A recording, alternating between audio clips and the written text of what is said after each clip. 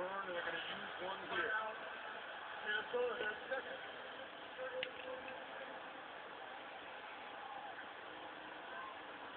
Guess what? More football to come once we wind down here. Darn right there is. Tennessee at New England.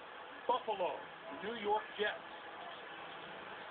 Tennessee trying to win its first of the year. Jets trying to rebound from a Monday night loss at Miami.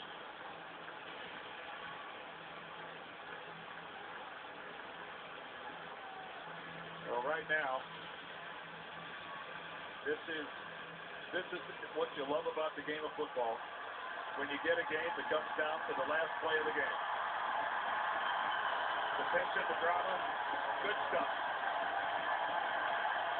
Hauschka hoping to silence the crowd and hand the Vikings their first loss of the year. He missed it.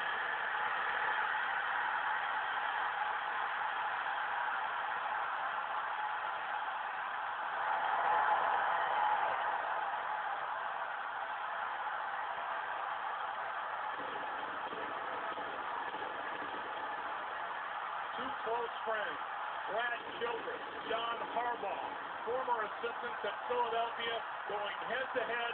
Minnesota survives to go 6 and 0 on the year, their first 6 and 0 start since the 03 season. Hauschka just pulled it. Yep, he hooked it from the very beginning. It never was between the uprights.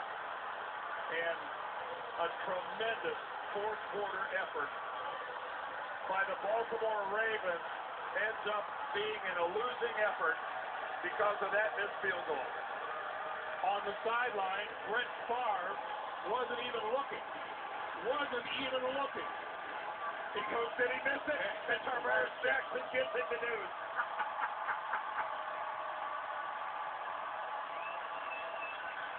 175 wins for Brett Favre as a starter.